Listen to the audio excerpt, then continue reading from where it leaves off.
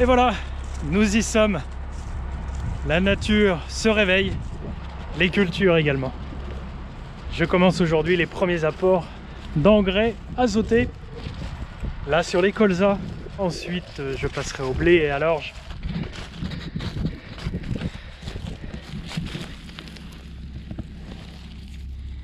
Il se réveille, il crée des nouvelles euh, feuilles. Elles sont toutes tendres, celles-ci. Celles-ci ont traversé l'hiver.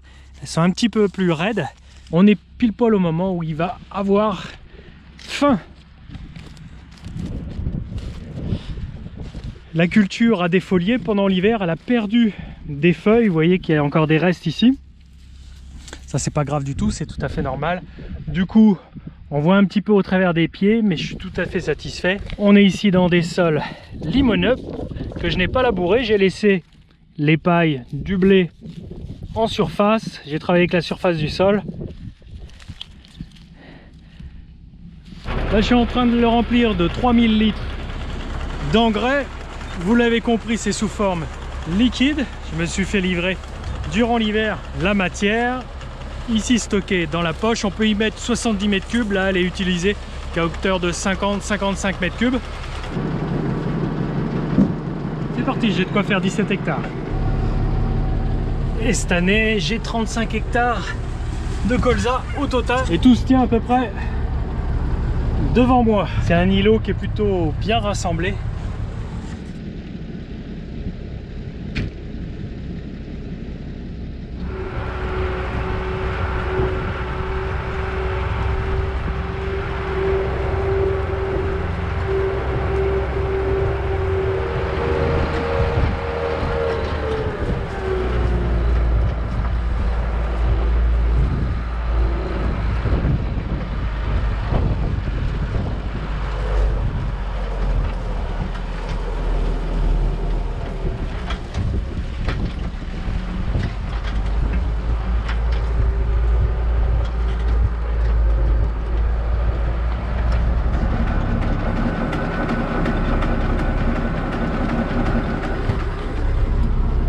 et de 1. Remplir pour le deuxième. Ça devrait m'emmener jusqu'à la tombée de la nuit. Ça s'est très bien passé. C'est la première fois que je reviens dans les champs euh, depuis quelques semaines, quelques mois.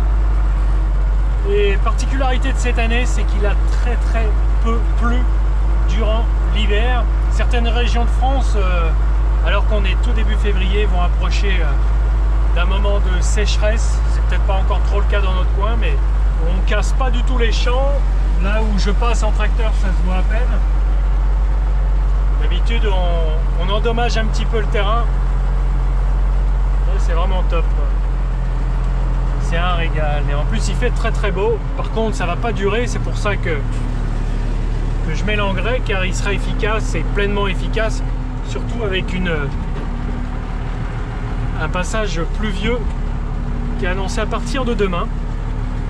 Je suis un petit peu plus tôt, euh, pas loin d'une semaine plus tôt que l'année dernière. Mais bon, euh, les années se suivent et se ressemblent pas. Ça va être parfait pour, euh, que ça accède, pour que l'engrais aille aux racines.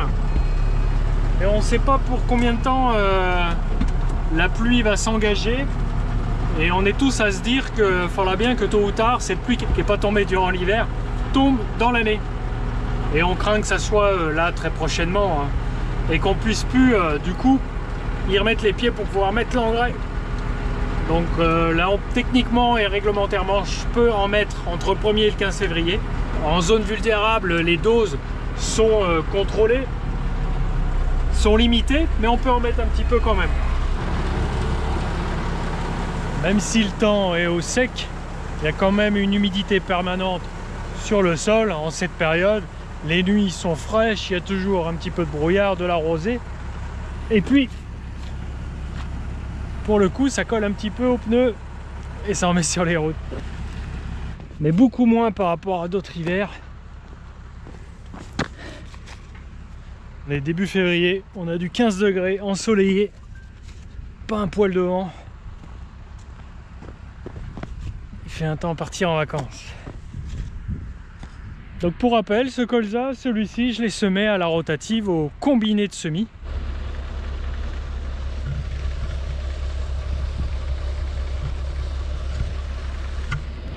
Il Faut que ça soit solide. Hein. C'est exposé au soleil depuis plusieurs années. Pourquoi on utilise l'engrais liquide? Car le, prix de l'unité, le prix du kilo, c'est le plus bas par rapport aux autres euh, engrais euh, solides. Ils sont très divers.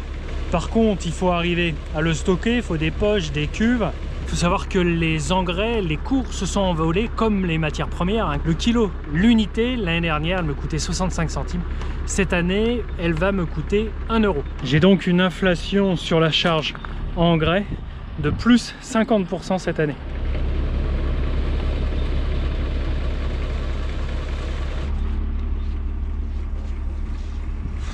Quand dans le même temps, le cours des céréales a augmenté de 20-30%, ce qui est moins vrai pour le colza car c'est beaucoup plus.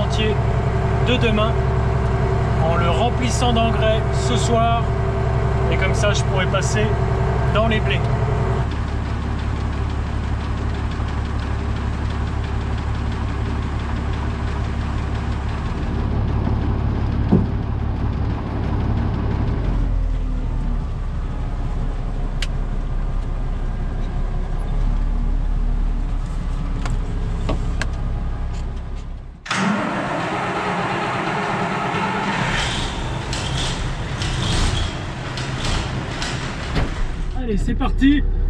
Vous allez voir que le temps a changé. Il est couvert. Donc là, je vais mettre moins d'engrais que j'ai mis dans les colzas. Il y a moins de besoin maintenant pour, euh, pour les blés. J'y apporte 40 kg par, euh, par hectare d'azote, alors que dans le colza, j'en ai mis 60.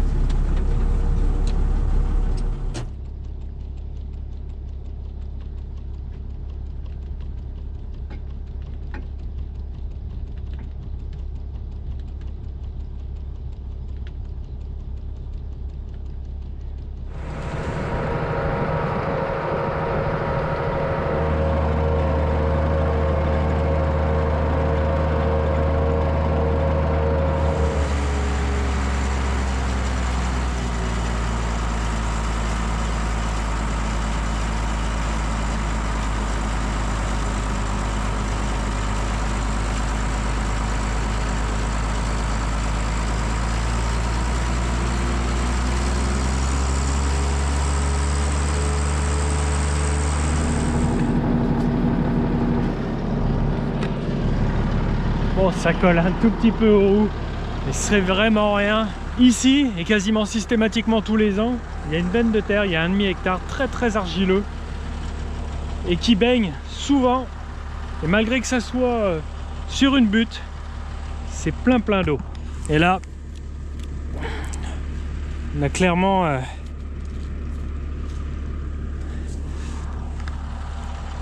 un terrain qui est sain et des plantes également. Donc là, il est en plein talage, il va en créer plusieurs comme ça, des tales, des tiges. Il ne faut pas non plus positionner trop d'unités lors de cet apport. J'en ferai deux autres dans les semaines à venir. Le risque, en mettant trop d'engrais là maintenant à ce stade talage, c'est de favoriser plein d'autres petites tales, mais qui ne feront pas de grains. C'est souvent le cas si on positionne une quantité trop importante à ce stade. Le compromis n'est pas toujours évident à trouver. Et pour en revenir à cet endroit, là il va pouvoir pleuvoir d'ici quelques jours, on verra même pas que je suis passé. Et d'où l'intérêt, je pourrais quasiment y venir avec les roues euh, étroites du pulvérisateur, vous avez vu les changer il y a quelques semaines, spécialement équipées pour l'hiver, d'avoir une portance quasiment deux fois plus large, les roues étroites sont, sont moitié moins larges, ça permet comme ça de, de dissiper le poids. Vous voyez que mon marquage est très très réduit. C'est presque le top.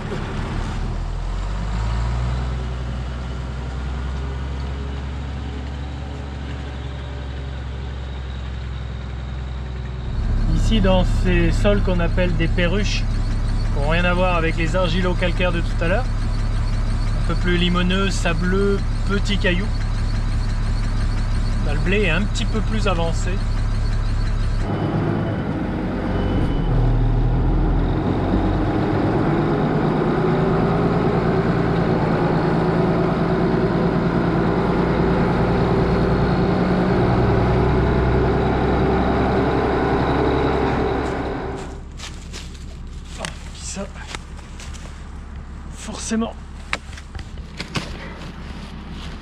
C'est du boulot qui est mort. Le ferme maintenant. Car le propriétaire évidemment, il le verra pas, il habite pas à côté. Et puis euh, vaut mieux enlever tout ce qui peut risquer de rentrer dans la moissonneuse surtout.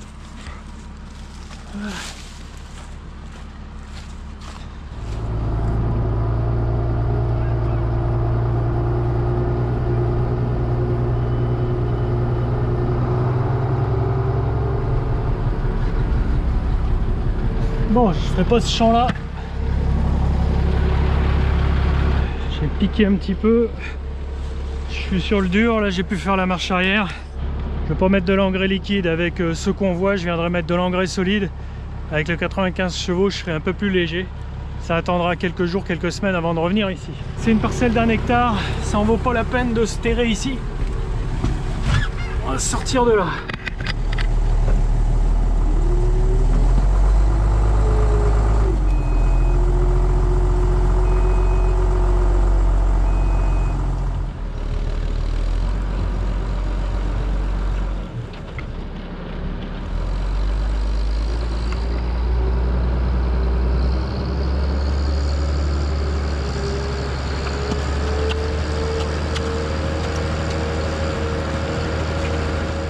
Voilà, une trentaine d'hectares est fait sur la cinquantaine. J'ai eu un petit incident dans cette parcelle d'un hectare. L'année dernière, j'étais pas venu dans les premiers apports car euh, même à y marcher, eh bien, il y avait de l'eau stagnante, on voyait qu'il n'y avait pas un tracteur à y mettre. Mais là, en fonction de l'année, vu qu'il a très peu plu sur janvier, pas beaucoup sur décembre, je me suis dit, ça va passer. Bon, bah, ça passe pas. Donc, il faut vraiment que j'attende peut-être courant mars pour pouvoir y accéder. Et on connaît peu son comportement car on l'exploite maintenant depuis trois années. Les années précédentes étaient pluvieuses, on n'y allait pas. Là, j'aurais cru que ça passait. Après, dans les autres parcelles, on les connaît bien. Là, je sais que je vais avoir des soucis nulle part. Ça marque à peine, comme je vous disais tout à l'heure, dans les argilo-calcaires, on voit à peine. Ici, dans les limons, c'est pareil. Ici, derrière, je suis passé. Alors que dans l'autre parcelle, les 1 hectare, ça n'a rien à voir. Je saurai quoi faire à l'avenir.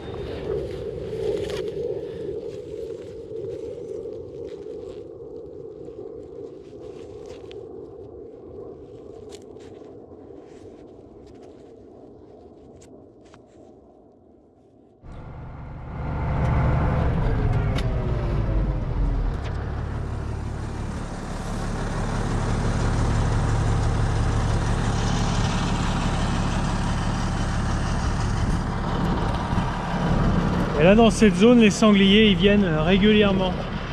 Peu de jours après le, semis et la levée. Ils ont ici parcouru à peu près un demi hectare, un hectare. L'orge des fois arrive à se retaper, moins épaisse. Ici ça a peut-être été fougé. Elle essaye de, taler, de refaire des tiges, mais il y a des endroits où il n'y aura rien.